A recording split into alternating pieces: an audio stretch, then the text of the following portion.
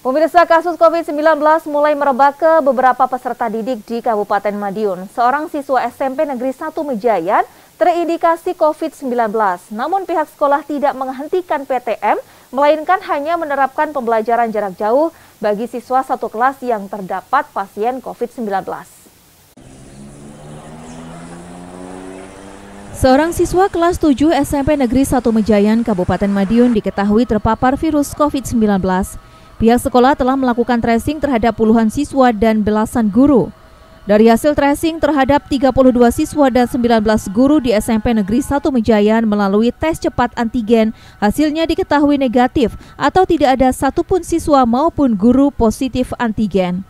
Kepala SMP Negeri 1 Mejayan Agus Sucipto mengatakan, meski terdapat satu siswa kelas 7 yang positif COVID-19, namun hal tersebut tidak mempengaruhi PTM yang sudah dijalankan sejak beberapa bulan lalu.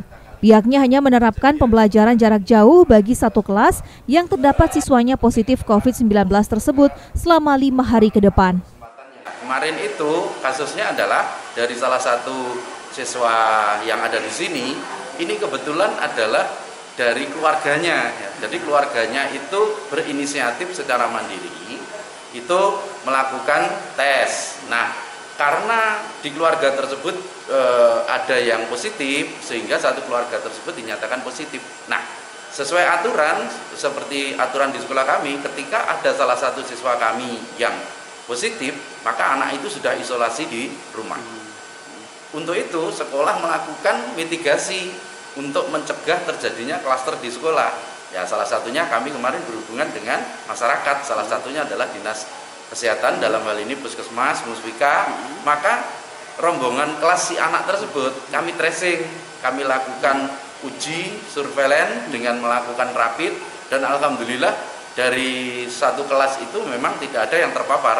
TM karena pelajaran ini sangat penting bagi saya, apalagi saya sudah kelas 9 ini. Jadi pastinya saya tetap waspada, tapi tidak boleh takut.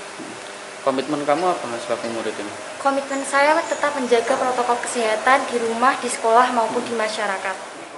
Penyebaran virus COVID-19 diketahui kembali menyebar ke beberapa kalangan masyarakat. Tidak hanya anak-anak dan orang dewasa saja, namun sejumlah lansia pun juga terpapar. Diimbau kepada masyarakat untuk tetap menerapkan protokol kesehatan sehari-hari. Tova Pradana, CTV, Madiun.